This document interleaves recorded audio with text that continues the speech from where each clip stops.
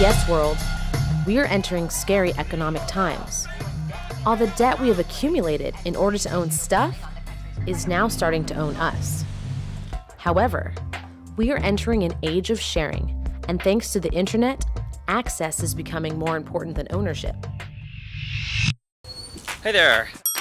So Couchsurfing is a social network. Here's my couch. You have a profile online. You can search for other couchsurfers all over the world, and you can connect with them and ask them to show you around their local area, have a cup of coffee, and just chat, get to know their culture, or even stay on their couch. So, what would a couch surfing evangelist do? They wouldn't stay in a hotel or a hostel.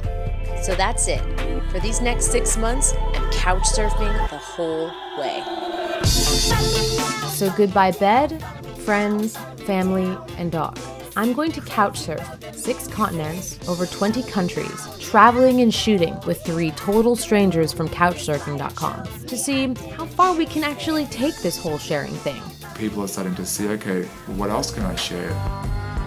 A new world is emerging, where not only is a better life possible, but so is a better world. This is where the journey begins. One couch at a time.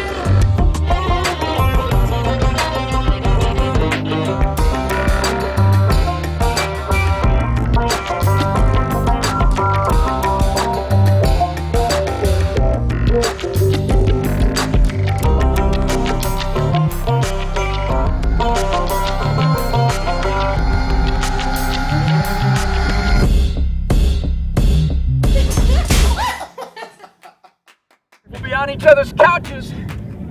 We'll be in each other's kitchens. We've got to radically share now.